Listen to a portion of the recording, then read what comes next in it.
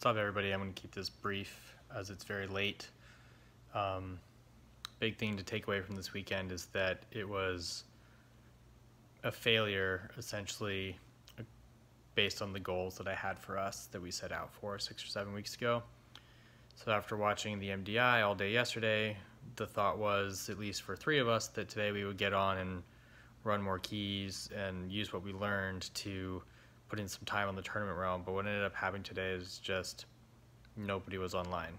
Like, I was on with my brother, then Russ was on, then Teddy was on, then then Prickshot was on, and it's like everybody was on and off and on and off, and nobody once asked what we were doing. Nobody once was like, "Hey guys, says we're all here. Let's run keys." Like, literally, nothing, nothing happened. Like everyone just kind of sat around, and there was no point in time where I think all five of us were on. Um, it was like three people, then four people, then three people again, then four people. And so the full team was never online today. And it's just becoming, like I said, very apparent to me that people just aren't self motivating and they're not seeing this as a goal. Unless I literally initiate the group and say, hey guys, let's run keys, literally everyone just doesn't do them. So, given that um, Teddy wasn't even online in the evening, no matter what's going on in his life, it just doesn't seem like he's gonna be. He, the interest isn't there, in combination with the fact that his life is messy, uh, his personal life is messy right now. Um,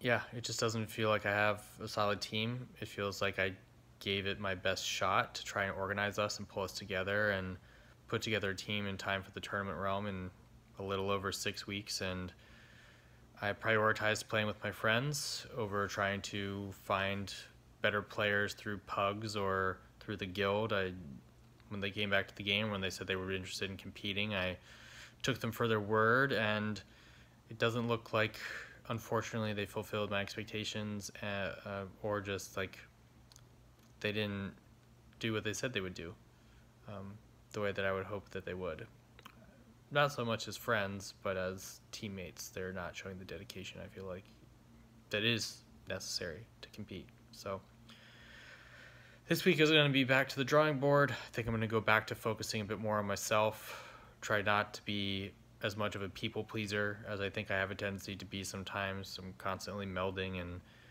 adjusting myself and shifting characters I play based on how I fit into other people's agendas. I think that's the easiest thing to do. Um, it ensures that we have a full group and we can actually try things, but at the end of the day, that wasn't enough. We ha- had a five man group, we had the right composition, and when we were online, people underperformed, and the rest of the time, people just aren't showing the dedication. So it's unfortunate. I'm disappointed. I'm sad. I was really hoping that when I set out to start this project, I'd be able to share this as a success story, but unfortunately, it looks like due to things outside of my control, it's going to be a bit longer of a journey than I hoped. So stay tuned. I'll still be updating every day on how much closer or further I'm getting from this goal. It's still very much a goal of mine to compete uh, in the MDI and to do very high keys on live. So the drive is still there, the motivation is still there, the goal is still there. I'm just gonna have to focus a bit more on me and less on trying to make this group happen that it doesn't really look like it wants to happen on its own. So, thanks for tuning in. I'll talk to you tomorrow.